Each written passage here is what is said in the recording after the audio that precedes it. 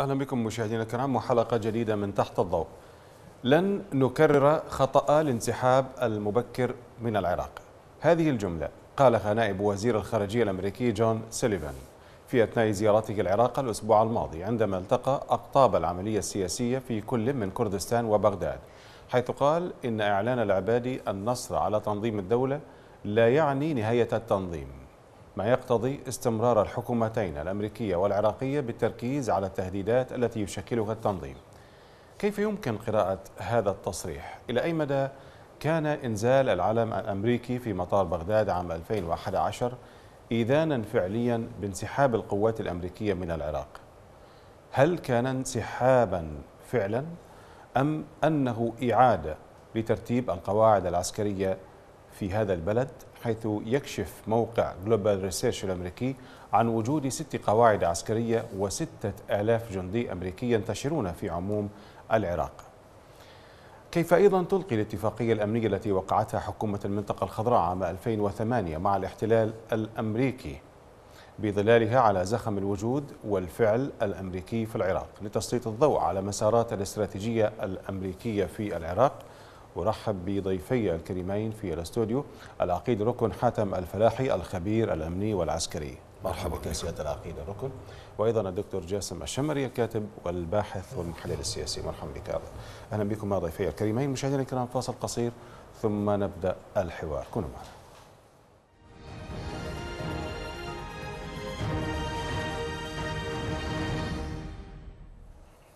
أهلا بكم مرة أخرى مشاهدينا الكرام. نستضيف في هذه الحلقة على مسارات الاستراتيجية الأمريكية في آه، العراق. أبدأ معك آه، أستاذ حاتم الفلاحي الخبير الأمني والعسكري. آه، لعل لمسارات الاستراتيجية الأمريكية منذ احتلال العراق وحتى الآن يعني صفة معينة كيف تصف هذه المسارات؟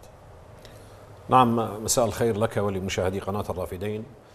أنا أعتقد بأنه الولايات المتحدة الأمريكية منذ عام 2003 وحتى خروجها في عام 2011 من العراق في هذه الفترة بالضبط يعني عندما تحولت هذه القوة عندما جاءت إلى العراق من خلال إطلاق الحرب الاستباقية وأن العراق يشكل تهديد على الولايات المتحدة الأمريكية وهناك أسلحة للتدمير الشامل وما إلى ذلك من مبررات سوقتها الولايات المتحدة لغزو العراق. جميع هذه المبررات قد سقطت في العراق عندما أعلنت بأنها دولة احتلال فعندما وصلت مع مع مع مع إعلانها إنها دولة احتلال هي جاءت إلى العراق بدون موافقة مجلس الأمن وبالتالي استخدمت شريعة الغاب في الدخول إلى العراق. عندما دخلت الولايات المتحدة الأمريكية بعد ذلك بدأت تتكلم عن مشروع في المنطقة يسمى مشروع الشرق الأوسط الكبير. الذي آه، نوهت إليه كوندريزا رايز في عدد من اللقاءات بأنه المنطقة ستشهد تغيير جذري في الفترة المقبلة وبالتالي تحولت قوات الاحتلال الأمريكي إلى تنفيذ مشروعها في المنطقة، هذا المشروع يشمل عدة دول من ضمنها العراق بدءا من العراق وينطلق إلى دول أخرى. ولكنها اصطدمت بسد منيع في العراق وهي المقاومة العراقية التي استنزفت القوات الأمريكية استنزاف كبير جدا. أجبر القوات الأمريكية خلال الفترة المنازلة منذ عام 2003 وإلى عام 2011 على التراجع في كثير من الأمور. وبعد ذلك قامت بزيادة عدد القوات الأمريكية بشكل كبير جدا لغرض السيطرة على الوضع. ثم فشلت جميع الاستراتيجيات التي تمت استخدامها من قبل الولايات المتحدة الأمريكية من تشكيل صحوات وما إلى ذلك إلى أن وصل بها الأمر أنها اتفقت مع الجانب العراقي على الخروج من العراق في عام 2011 من خلال الاتفاقية الأمنية التي أبرمت مع العراق. إذا أمريكا نتيجة دخولها في حروب متعددة حرب أفغانستان وحرب العراق استنزفت بشكل كبير جدا. كان هناك ضغط اقتصادي كبير جدا على الولايات المتحدة الأمريكية خسائر كبيرة جدا في المعدات والعسكرية وفي التجهيزات وفي الأرواح البشرية. فشلت فيها الولايات المتحدة من الحفاظ على أمن القوات الأمريكية داخل العراق فضلا عن فشلها في تأمين الأمن داخل البلد. وبذلك أعتقد أنها انتقلت إلى مسألة أخرى اللي هي مسألة كيفية الخروج من المستنقع العراقي لأنها إذا بقيت في العراق قد تتحول إلى فيتنام ثانية بالنسبة للقوات الأمريكية. وبذلك انتقل الصراع إلى صراع آخر. حاولت خلال هذه الفترة أن تؤهل القوات العراقية لكي تستلم الملف الأمني في العراق ولكنها هي على دراية كاملة بأن إيران تدخلت في العراق بشكل كبير جدا وتوغلت في الأجهزة الأمنية والأجهزة العسكرية وما إلى ذلك. إذا أمريكا عندما أرادت الخروج كانت هناك تصريحات إيرانية على لسان الرئيس الإيراني نجاتي بأننا سنملأ الفراغ بعد خروج القوات الأمريكية. هنا يجب الإشارة على أنه الأمريكان كانت لديهم اتفاقات كبيرة جدا مع إيران في غزو أفغانستان وفي غزو العراق.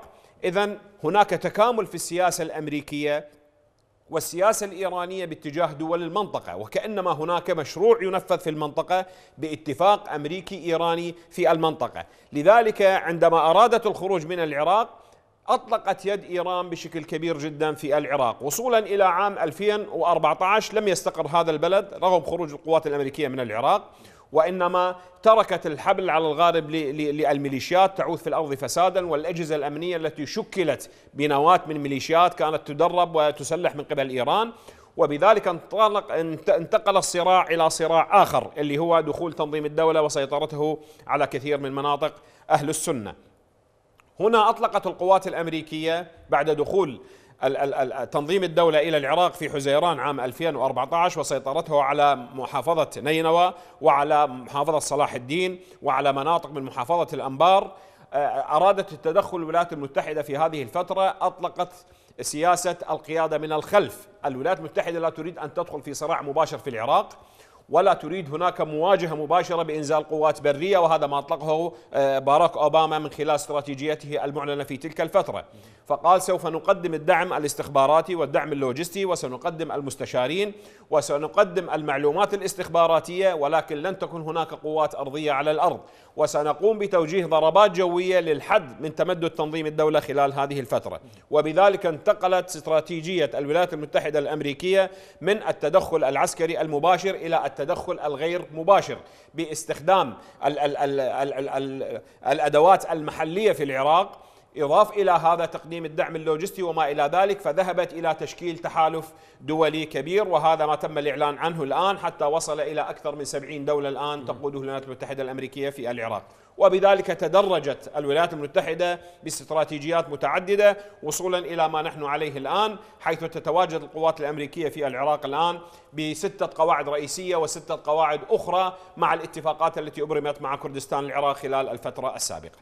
دكتور جاسم من الواضح أن مثل ما تحدث الأستاذ حاتم أن التدخل العسكري في الأمريكي العسكري في العراق كان بداية الاستراتيجية الأمريكية أو أول خطوة وتدرجت مثل ما تحدث إلى أن وصل إلى وصلت إلى الاستراتيجية آه، التدخل غير المباشر باستخدام أدوات محلية كالميليشيات وغيرها.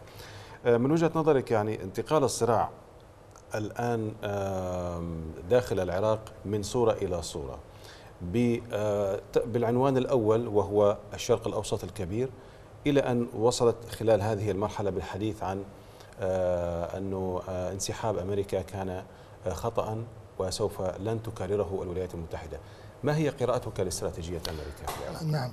شكرا لكم. تحية لك وللأخ الفلاحي ولمتابعي الرافدين. لا شك أن الاستراتيجية الأمريكية هي استراتيجية معقدة ولا يمكن لأي متابع. ولو كان دقيقا أن يقول أن الاستراتيجية الأمريكية هي في الإطار الفلاني.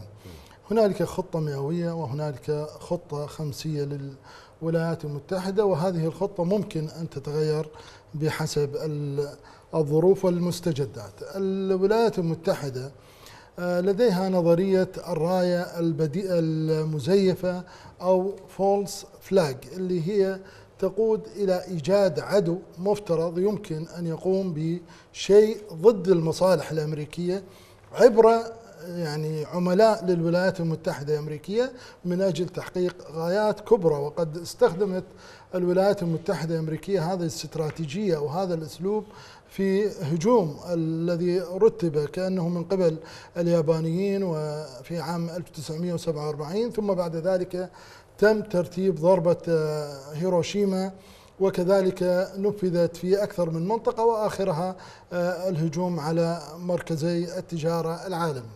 إذا الاستراتيجية الأمريكية ربما نقول عنها أنها قادرة على فعل أي شيء من أجل المصلحة الأمريكية. اللولب الرئيسي في القضية هو أين تكمن المصلحة الأمريكية؟ حينما نعود إلى الملف العراقي التدخل الأمريكي ليس جديدا. الولايات المتحدة كان لديها سفير موجود في العراق قبل مرحلة الدخول العراقي إلى الكويت ثم بعد ذلك تطورت الأمور إلى مرحلة العقوبات ثم إلى مرحلة آه، الغزو والاحتلال الأمريكي للعراق في عام 2003 هنا بدأت آلية جديدة في كيفية أن تسيطر الولايات المتحدة على ثاني أكبر احتياطي للنفط في العالم وهو العراق. وربما هنالك من يقول أن الولايات المتحدة ليست بحاجة إلى هذا النفط وهذا كلام دقيق. لكن الولايات المتحدة بحاجة إلى تأمين النفط لأوروبا والهند واليابان على اعتبار أن هؤلاء هم حلفاء استراتيجيون للولايات المتحدة. ولا تريد أن يتخلخل السوق الاقتصادي سواء بالنفط أو في آه، التعامل المالي من أجل إبقاء سيطرة الولايات المتحدة بالذات بعد مرحلة آه، القطب الواحد وانهيار الاتحاد السوفيتي.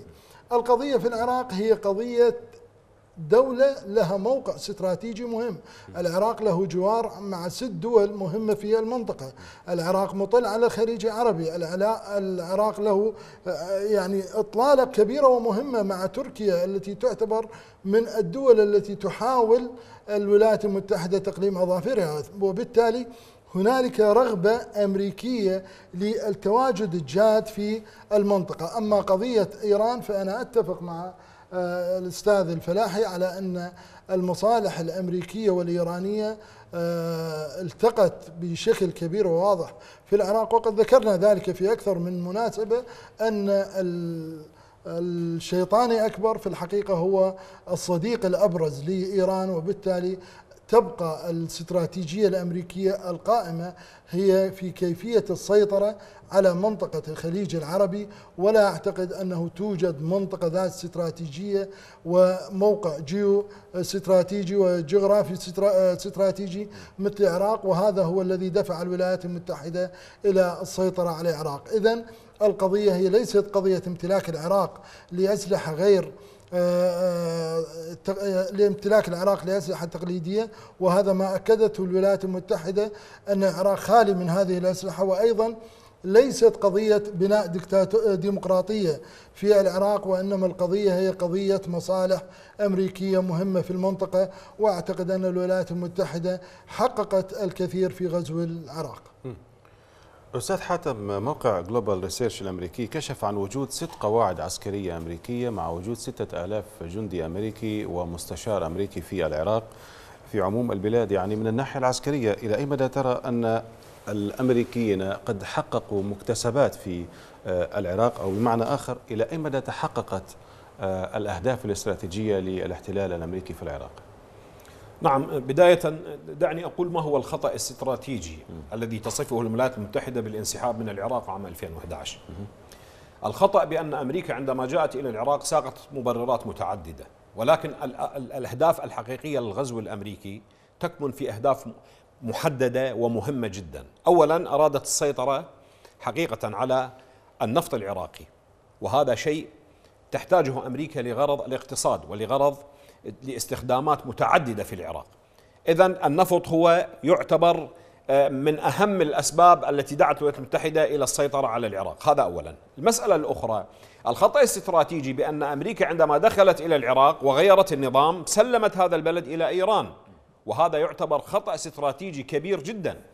لذلك مسألة آه، الخطأ الاستراتيجي أيضا بأن مشروع الشرق الأوسط الكبير الذي بشرت به أمريكا لم تستطيع أن تنفذه في تلك الفترة وبالتالي خرجت أمريكا مرغمة من العراق نتيجة أسباب متعددة مثل ما تكلمنا فيه قبل قليل أسباب اقتصادية وأسباب عسكرية وما إلى ذلك. أرادت أن تخرج من المستنقع العراقي على أن تقوم بإعادة ترتيب أولويات الولايات المتحدة الأمريكية.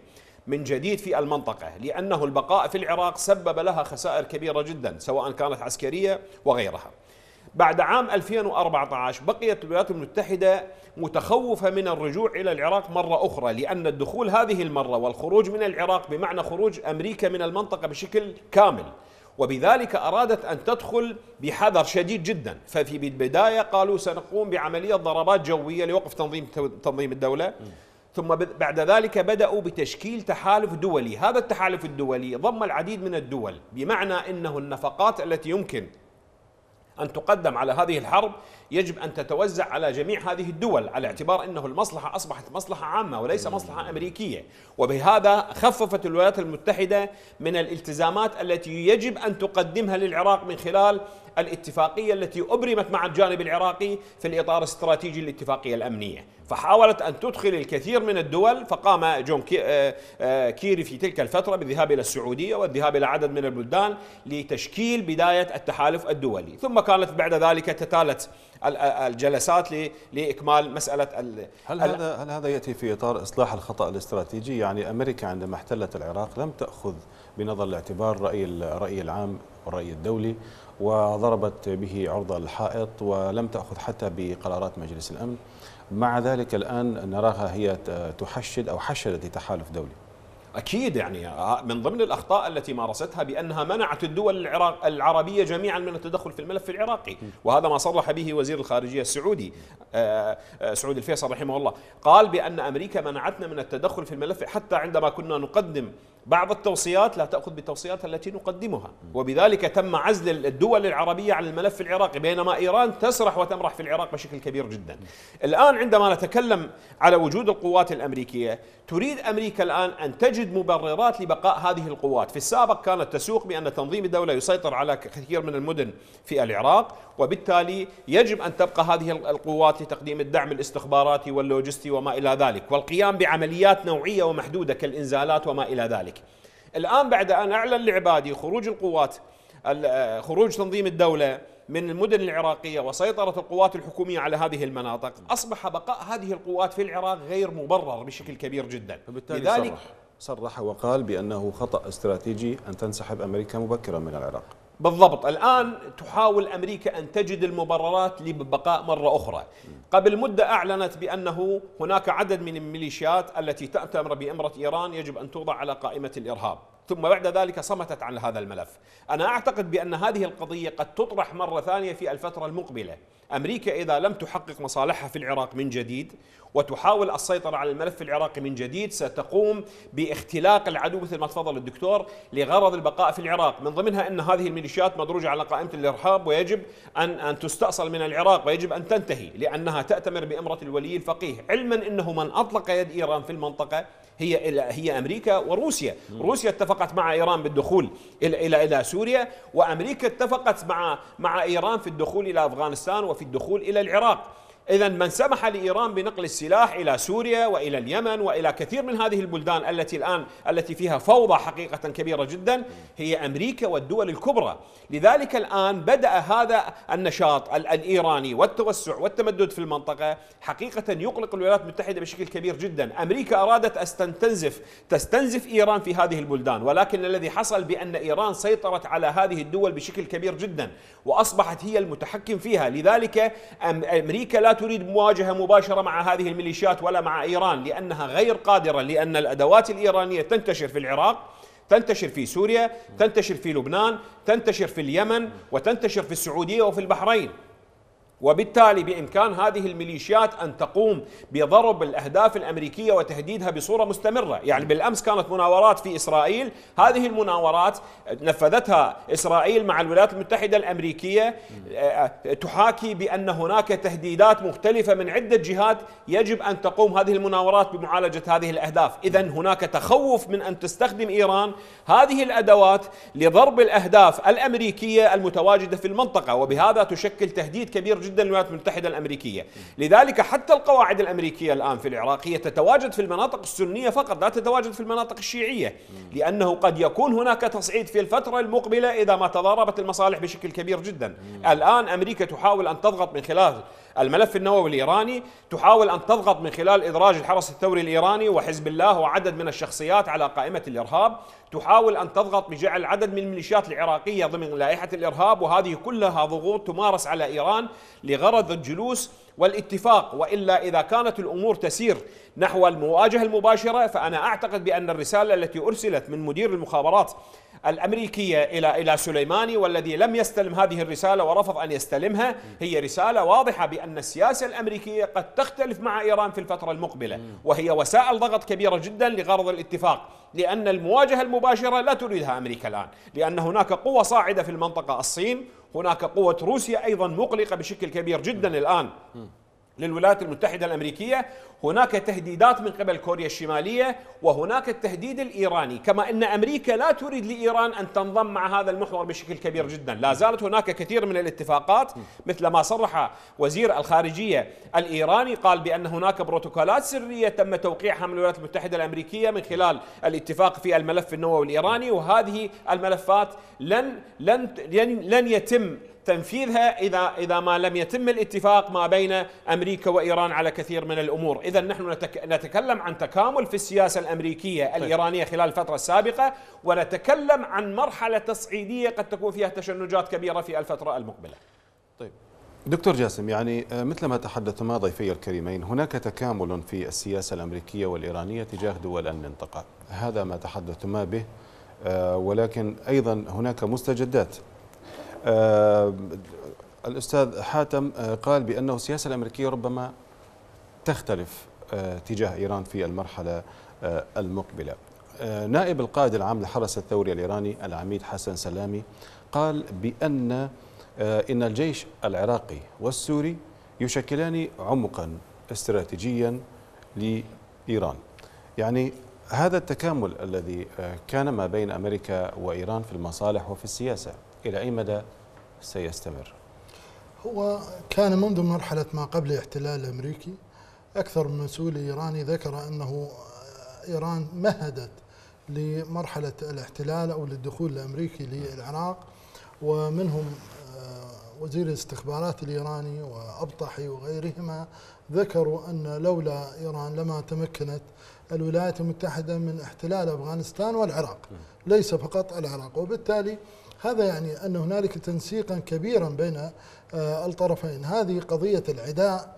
أنا أعتقد هذه أكذوبة لم تعد تنطلي على أي متابع دقيق للشأن العراقي لأن هنالك آه، تمت زيارة لرئيس النظام الإيراني إلى العراق آه، نجاد في مرحلة احتلال أمريكي ودخل بحماية الطائرات الطائرات الشيطانية أكبر وخرج بحماية طائرات الشيطان الأكبر وهبط في بغداد محتلة من قبل قوات الشيطان الأكبر. هذا الأمر آه، هو يؤكد أن المصالح الأمريكية والإيرانية تتفق على ضرورة إيجاد عصا جديدة في المنطقة من أجل استمرار حلب دول المنطقة. الاستراتيجية الأمريكية قائمة على إيجاد عدو افتراضي بالذات في المناطق التي تريد الولايات المتحدة أن يستمر التواجد العسكري فيها.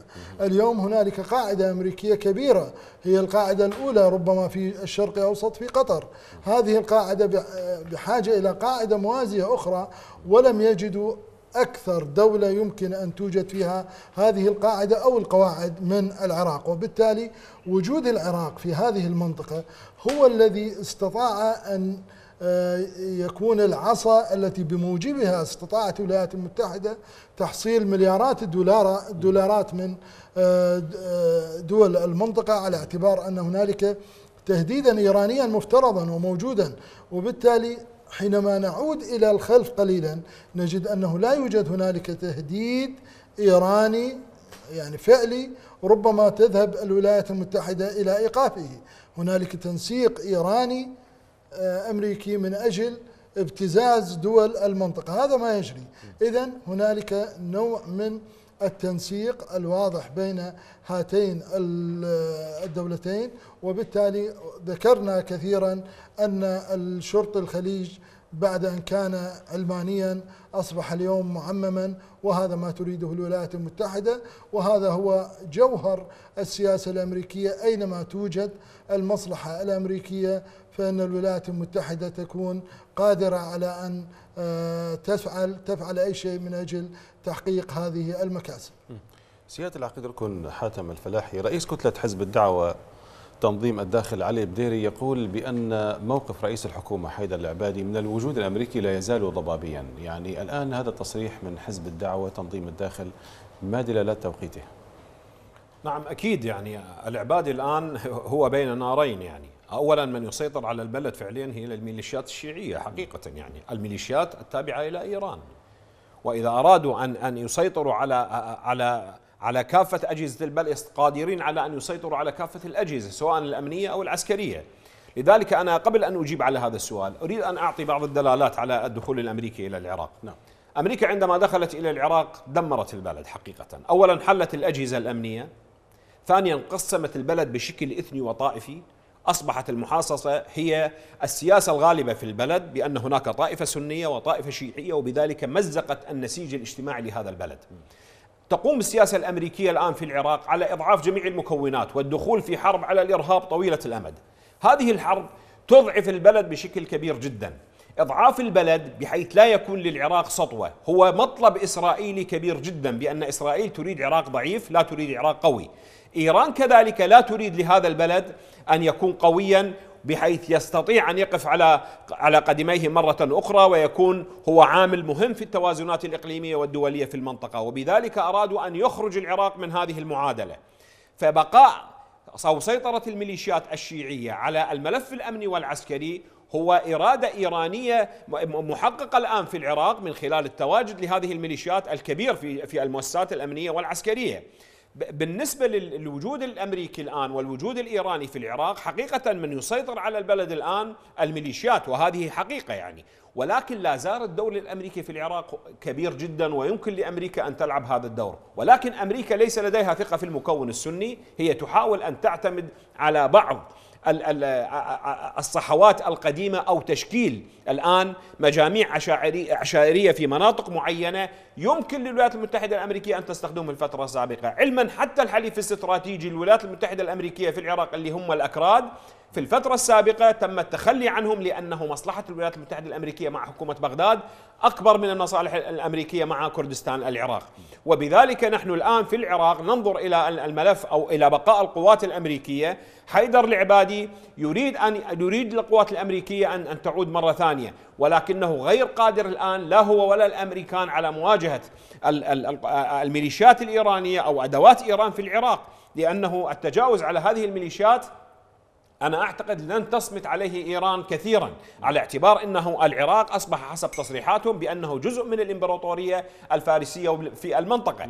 وبذلك بأن المواجهة لن تقتصر على العراق فقط وإنما ستشمل عدد من الدول قد تسبب إحراج كبير جدا للولايات المتحدة الأمريكية. كما أن دخول الولايات المتحدة الأمريكية في مواجهة مباشرة مع إيران في المنطقة يسبب صعود لروسيا وللصين بشكل كبير جدا وسيكون على حساب التهديدات التي تطلقها كوريا الشمالية باتجاه باتجاه أمريكا، لذلك هناك ملفات ساخنة متعددة الآن حتى تركيا الحليف الاستراتيجي للولايات المتحدة الأمريكية وهي عضو في حلف الناتو ولكن مع هذا تخلت عنها الولايات المتحدة الأمريكية عندما دعمت قوات سوريا الديمقراطية بأسلحة ثقيلة ومتوسطة في الفترة السابقة. نحن أمام ملفات شائكة وملفات معقدة جدا سواء كانت في سوريا أو سواء كانت في العراق. الولايات المتحدة الأمريكية تريد أن تعتمد على أدوات مثل ما اعتمدت روسيا الآن على الحرس الثوري الإيراني اعتمدت على ميليشيات حزب الله واعتمدت على الميليشيات العراقية في, في سوريا واستخدمت هؤلاء لغرض السيطرة على الملف السوري. أمريكا الآن تحاول أن تجد هذه هذه الأدوات في سوريا فشلت في كسب الجيش الحر وإخراج منهم. نستطيع أن نقول قوة تستطيع أن تستخدم الولايات المتحدة الأمريكية لأنها قالت لهم بأنه تقاتل تنظيم الدولة فقط ولا تقاتل نظام الأسد لأنه بقاء نظام الأسد أصبح مصلحة أمريكية في الفترة السابقة وهي ليس لديها مشكلة مع نظام الأسد بقدر ما لديها مشكلة مع التنظيمات الإرهابية. أما بالنسبة لقوات سوريا الديمقراطية فأنا أعتقد أنها سببت لها مشكلة كبيرة جدا مع الحليف التركي. لذلك في العراق ليست هناك أدوات لأمريكا تستطيع من خلالها مواجهة الأدوات الإيرانية في المنطقة. إذا بداية يجب أن تكون هناك مواجهة لهذه الأدوات في المنطقة، ثم بعد ذلك يمكن أن نقول إن هناك مواجهة ما بين الولايات المتحدة الأمريكية وإيران، أما على هذه الشاكلة وعلى هذه الفترة لا أعتقد بأنه ستكون هناك مواجهة في القريب العاجل مهما كانت الضغوطات، يعني الآن عندما نتكلم عن فرنسا وألمانيا وكثير من الدول الأوروبية تقف أمام آه، آه، أمام إلغاء الملف النووي وتعتبر بأن هذا الاتفاق هو يحقق مصالح الدول الأوروبية وبالتالي لن تنسحب منه لا روسيا ولا الصين ولا فرنسا ولا بريطانيا نعم. ولا حتى ألمانيا، لذلك حتى وإن ذهب ترامب إلى إلغاء الملف النووي الإيراني آه، في الفترة المقبلة لن يجد صداه لأنه لن يكون هناك تماثل أوروبي لزيادة العقوبات على إيران وما إلى ذلك لأن لديها مصالح أصبحت كبيرة جدا تخرج يخرج عن الإطار الذي يريده ترامب في المنطقة. وبالتالي الولايات المتحدة دائما ما تستخدم أدوات لإضعاف الدول دول المنطقة باستخدام هذه الأدوات في وإدخالها في حروب داخلية آه، لإخراجهم من أن يكونوا آه، عوامل مؤثرة على آه، الصعيد الدولي والإقليمي. مشاهدينا الكرام ضيفي الكريمين اسمح لي أن نذهب إلى فاصل قصير ثم نكمل النقاش كونوا معنا.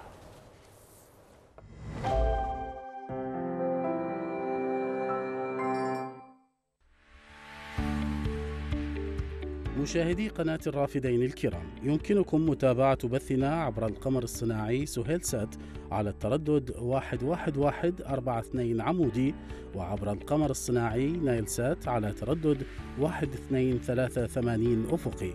ولمزيد من المعلومات يرجى التواصل مع موقع القناة الإلكتروني عبر الإنترنت.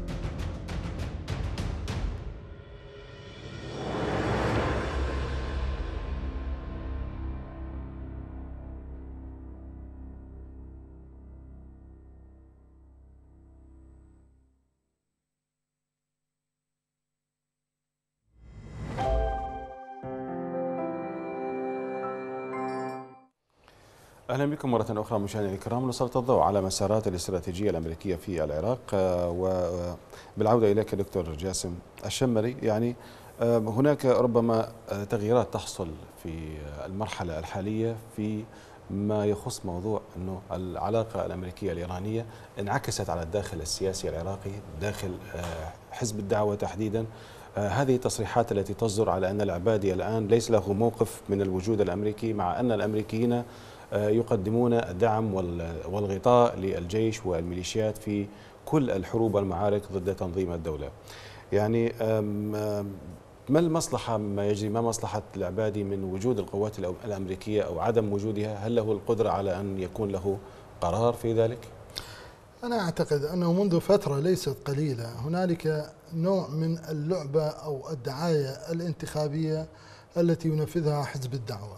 حزب الدعوة حينما قدم نور مالكي لولايتين في حكم العراق معلوم أن المالكي لم يكن يعني ناجحا في إدارة البلاد وسلم أكثر من ثلث البلاد إلى داعش ومعلوم أنه قابل المظاهرات السلمية بأسلوب همجي لم يكن يفترض أن يفعله معهم وبالتالي أراد المالكي بعد أن تشبث بالولاية الثالثة أن يذهب إلى بديل ربما يمكن أن نسميه بديلا ضعيفا وبالتالي ذهب إلى العبادي إلا أن العبادي أراد أن ربما أن يكون الصورة المغايرة للمالكي وهذا الأمر حقيقة غير مقبول تماما. يمكن قبوله بحالة واحدة لو أن العبادي أعلن مؤخرا انسحابه من حزب الدعوة. وكنا نأمل وكثير من المتابعين للشأن العراقي كانوا يتوقعون أن العبادي سينفصل عن حزب الدعوة في المرحلة الماضية إلا أن المرحلة الأخيرة أثبتت أن العبادي ما زال جزء من حزب الدعوة على الرغم من دخوله بكتلة يعني تابعة له في الانتخابات وهي آه، تحالف نصر والمالكي دخل بتحالف دولة قانون. هذا ذكاء من حزب الدعوة. هذا نوع من تلميع صورة حزب الدعوة. مر بالانتقاد مالكي ومر بتلميع صورة العبادي. النتيجة هي تجري في مصب أو نهر حزب الدعوة. نحن يفترض أن نعامل حزب الدعوة كمنظومة سواء كان مسؤول هو العبادي أو كان المالكي لأن العبادي هو جزء من منظومة حزب الدعوة والمالكي هو مسؤول عبادي حزبيا. أما عملية أو آلية فصل العبادي عن المالكي فأعتقد أن من يعمل على هذا الشيء يسعى بطريقة غير مقصودة إلى تلميع صورة حزب الدعوة في العراق. حزب الدعوة هو الحزب الأبرز في الساحة العراقية وكتلة قانون هي الكتلة الأكبر داخل مجلس النواب العراقي وبالتالي لا يمكن تبرئة هذا الحزب مما جرى ويجري منذ مرحلة ما قبل الاحتلال وحتى اليوم. إذا يفترض أن لا ننساق وراء هذه اللعبة الذكية التي نفذتها أيادي ذكية وحكيمة في داخل حزب الدعوة. إذا يفترض أن نقول أن حزب الدعوة هو الذي شارك في مرحلة ما قبل الاحتلال الأمريكي وهو الذي اتفق مع قوة أجنبية وغير أجنبية من أجل التمهيد لدخول آه، الاحتلال الأمريكي على الرغم من زعم بعض آه، قيادات الحزب أن الحزب لم يشارك في اجتماعات لندن. وهذا أمر حقيقة بحاجة إلى أدلة دقيقة يمكن أن لا تكون يعني سياق هذه الحلقة يمكن أن نناقش هذا الأمر. إذا نحن نريد أن نؤكد حتى لو أردنا أن يعني نقرأ أو نتابع أفعال الحزب في مرحلة ما بعد الاحتلال الأمريكي يعتقد أن المرحلة لم تكن موفقة وأن مرحلة الاتفاق الاستراتيجي بين الولايات المتحدة والعراق تمت حينما كان نوري مالكي هو مسؤول أو رئيس وزراء العراقي اذا القضية قضية أن العبادي آه، ما مصلحته في بقاء أو عدم بقاء القوات الأجنبية أنا أعتقد هي القضية قضية أمريكية وليست قضية عراقية. الولايات المتحدة هي التي تقرر متى وأين وكيف تبقى في العراق. أما هؤلاء فأنا أعتقد أنهم مجرد أدوات أرادت الولايات المتحدة أن تستخدمهم في آه، آه، يمكن أن نسمي ذلك ترتيب الإطار الديمقراطي في العراق من أجل تحقيق المصالح الأمريكية في هذا الدولة هذه الدولة التي تعاني منذ عام 2003 من هذه السياسات الطائفية العشوائية والمسؤول عنها الولايات المتحدة ثم بالدرجة الثانية الأحزاب المشاركة في العملية السياسية. تتشابك الملفات أستاذ حاتم سياده العقيد ركن. كيف ستكون من وجهة نظركم شكل المرحلة المقبلة مع دخول الميليشيات الانتخابات المقبلة؟ كيف سيتعاطى أو تتعاطى الولايات المتحدة مع ذلك خلال المرحلة على الأقل المدى المنظور؟ نعم بداية أريد أن أوضح بأنه من أوصل هذه الأحزاب الموجودة الآن إلى دفة الحكم في العراق؟ سواء كانت ميليشيات أو حزب الأحزاب الموجودة الآن في الحكم سواء حزب الدعوة أو الفضيلة أو أو مجلس الأعلى أو كثير من الأحزاب الأخرى. أمريكا من أوصلتهم إلى دفة الحكم في العراق. وبالتالي الآن عندما يطالبون بخروج أمريكا من العراق هي حقيقة مستغربة منهم لأنهم هم جاءوا على دبابة الأمريكية وهم وهي من أجلستهم على كراسي الحكم في العراق. هذا أولا. المسألة الثانية كان هناك اجتماع للجنة التنسيقية. العراقية وبين الولايات المتحدة الأمريكية من خلال اتفاقية الإطار الاستراتيجي بين الولايات المتحدة الأمريكية والعراق في الفترة السابقة، وخرج هذا المجلس أو هذا الاجتماع بتوصيات، هذه التوصيات من ضمن هذه التوصيات التي خرجوا بها، اولا بقاء القوات الأمريكية في العراق وزيادة أعدادها لفترة لا تقل عن خمس سنوات أخرى. طبعا هذا مع نائب وزير الخارجية الأمريكي الذي كان في بغداد خلال هذه الفترة الماضية. النقطة الثانية التعاون الأمني والاستخباراتي وتأهيل الأجهزة الأمنية العراقية المسألة الثالثة قيام الولايات المتحدة الأمريكية بتدريب القوات العراقية من وتأهيلها بكل صنوفها. المسألة الأخرى إعداد وتأهيل القوات العراقية من خلال التسليح والتجهيز. والمسألة الأخرى إعادة تأهيل المناطق المتضررة. جميع هذه النقاط تم اتفاق عليها ما بين حكومة بغداد وما بين الولايات المتحدة الأمريكية وقدمت هذه التوصيات إلى حكومة العبادي لغرض مناقشتها واتخاذ القرارات التي يرونها مناسبة. أنا أعتقد بأن القوات الأمريكية تنظر إلى العراق الآن إلى فترة الانتخابات القادمة. إذا تحققت المصالح الأمريكية في العراق بما فيها التصريحات التي صدرت من آه، الرئيس الأمريكي بأنه يجب السيطرة على النفط العراقي ويجب أن تكون هناك أمريكا لا تقدم خدمات إلى العراق مجانية، يجب أن تكون هناك حصة للولايات المتحدة الأمريكية ولولا وجود التحالف الدولي والطائرات الأمريكية لما تحقق للعباد هذا الإنجاز بالسيطرة على مناطق أهل السنة ابدا، لأنه من حسم المعركة حقيقة هي الطيران واستفادت منه القوات البرية المتواجدة على الأرض. اذا نحن نتكلم عن حاجة عراقية ملحة. للقوات الأمريكية خلال الفترة المقبلة لغرض إيجاد نوع من التوازن ما بين جميع المكونات التي ساءت حتى مع كردستان، يعني في الفترة السابقة كانت العلاقات بين بغداد وكردستان جيدة، ولكن بعد الاستفتاء أعتقد بأنه أصبح هناك شرخ كبير جدا في العلاقات ما بين كردستان وما بين الحكومة في بغداد. واصلا العلاقة مع المكون السني هي أصلا سيئة وبالتالي أصبحت أمريكا هي عبارة عن موازن ما بين هذه العلاقات المضطربة في العراق. المسألة الأخرى بأنه إذا تحققت مصلحة الولايات المتحدة الأمريكية خلال الفترة المقبلة من خلال الانتخابات فبها فسيكون هناك بقاء للقوات الأمريكية من خلال اتفاق يبرم مع الحكومة العراقية وسيكون قد يكون على حساب الميليشيات في إيران وقد تكون هناك مواجهة نتيجة هذا هذا الاتفاق. أما إذا سيطرت الميليشيات وسيطرة الجهات التابعة لإيران على الملف العراقي في الفترة المقبلة فأعتقد بأن الميليشيات التي وضعت على قائمة الإرهاب من قبل الولايات المتحدة الأمريكية سيتم استهدافها بشكل كبير جدا وهذا ما يقوض الفترة المقبلة. إذا نحن مقبلين على فترة تصعيد كبيرة جدا سواء خلال فترة خلال الفترة القادمة أو خلال فترة ما بعد الانتخابات وما ستؤول إليه شكل الدولة. هل سيرضي هذا الأمر الولايات المتحدة الأمريكية بحيث تكون لها الكلمة الفصل في العراق. أما أن يبقى العراق مسيطر عليه من قبل إيران فأنا أعتقد بأن هذه مشكلة كبيرة جدا. إضافة إلى هذا تواجد القوات الأمريكية في سوريا الآن أصبح تواجد طويل الأمد وهو أحد الأسباب التي دعت إلى قطع التواصل الإيراني مع الميليشيات المتواجدة في سوريا وصولا إلى حزب الله القاعدة الإقليمية الرئيسية لإيران في المنطقة. إذا نحن نتكلم عن ملفات متعددة وأهداف متعددة للولايات المتحدة الأمريكية. العراق هو جزء من هذه الأهداف. حتى لو جئنا إلى اليمن الآن وردنا أن نتكلم عن الحوثي حقيقة بأنه الولايات المتحدة الأمريكية لا تريد اجتثاث الحوثي في في اليمن ولكن تريد أن تجد توازنات سياسية في اليمن مقابل بقاء الحوثي لاستخدامها لغرض ابتزاز دول الخليج في أي مرحلة مقبلة، يعني عندما تضغط الآن الولايات المتحدة الأمريكية على جميع هذه الملفات وأطلقت يد إيران ابتزت دول الخليج العربي بشكل كبير جدا من خلال شراء الأسلحة ومن خلال تقديم كثير من التنازلات والتسهيلات من الولايات المتحدة مقابل تأمين الحماية لها في في هذه الفترة.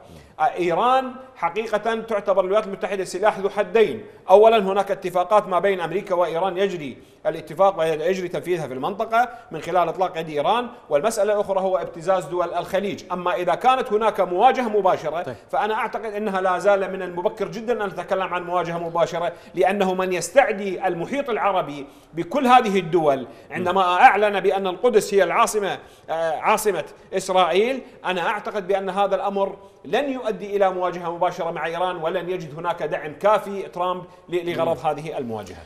أهداف الولايات المتحدة إضعاف المكونات آه، إضعاف دول المنطقة إدخال إدخالها في حروب دائمة داخلية بها من أجل إضعافها يعني تلقي بظلالها على شكل المرحلة المقبلة دكتور جاسم.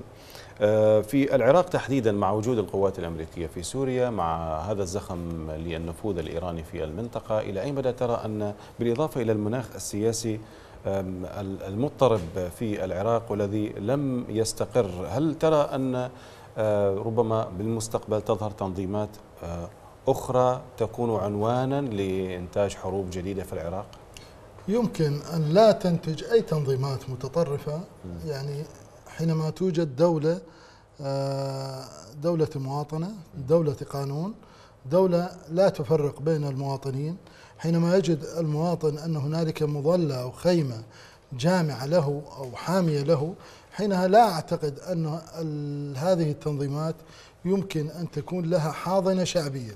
هذه التنظيمات هي تنظيمات لها كينونة هي غير خيالية موجودة على الأرض. وبالتالي حينما توجد تنظيمات إرهابية وليست لها حاضنة شعبية لا يمكن لهذه التنظيمات أن تنمو أو أن تستمر. ولكن, ولكن هذا الكلام خطير عندما تكون هناك تنظيمات إرهابية ولديها حاضنة شعبية على حسب ما تروج وسائل الإعلام نعم. الحكومية. يعني آه هذا الأمر آه ما مدى خطورته على مستقبل العراق؟ نحن نتحدث باللغة التي يمكن أن نتحدث بها. نحن لسنا مع لغة السلاح. نحن مع لغة السلام الذي يمكن أن تكون الخيمة الجامعة لكل العراقيين الإرهاب المفترض في نظر الحكومة نحن لا نتحدث عن المقاومة. المقاومة شيء مقدس لا يمكن الاقتراب منه. نحن نتحدث عن على موجب السؤال الذي تفضلت به. المقاومة شيء آخر لا يمكن المساس به على اعتبار أنه أمر مكفول ضمن القوانين السماوية والأرضية. حتى الرئيس بوش قال إذا احتلت بلدي فإنني سأكون أول المقاومين. نحن نتحدث عن التنظيمات التي لا يوجد تبرير أخلاقي أو قانوني لتواجدها. حينما توجد دولة دولة عادلة دولة مواطنة دولة لا تفرق بين المواطنين لا يوجد سند قانوني وأخلاقي لتواجد مثل هذه التنظيمات. لكن حينما توجد دولة ظالمة وتوجد ميليشيات آه، تعبث بأمن المواطنين وتوجد آه، قوانين جائرة ولا يوجد قاضي عادل حينها يذهب البعض من الذين لا يمكن أن يطيق هذه الحالة إلى حمل السلاح في وجه الدولة. هنا من المسؤول؟ هل نلقي باللائمة على الذي حمل السلاح أم على الدولة التي لم تعرف كيف تتصرف وتحمي المواطنين وتجعلهم آه، يؤمنون أن هنالك دولة، أنا أعتقد أن الملامة الكبرى تقع على الدولة، ذلك لأننا حينما توجد دولة عادلة أعتقد أن الجميع سيكونون معها، أما حينما تغيب هذه الدولة تماما كما في الحالة العراقية، أعتقد أن المبرر الأخلاقي والقانوني يمكن أن ينتج تنظيمات سواء كانت آه يعني شرعية أو غير شرعية نحن لسنا مع كافة التنظيمات التي يمكن أن تحمل السلاح هنالك آه، تنظيمات يعني ربما آه، قتلت نعم. الأبرياء والمدنيين عزل وهذا إذن أمر إذن حقيقة غير مقبول اذا كلها في اطار نحن م. مع بناء دولة المواطنه نحن مع بناء دولة قانون التي يمكن أن تكون الخيمة الجامعة التي تنهي هذه التنظيمات سواء كانت الرسمية أو غير رسمية.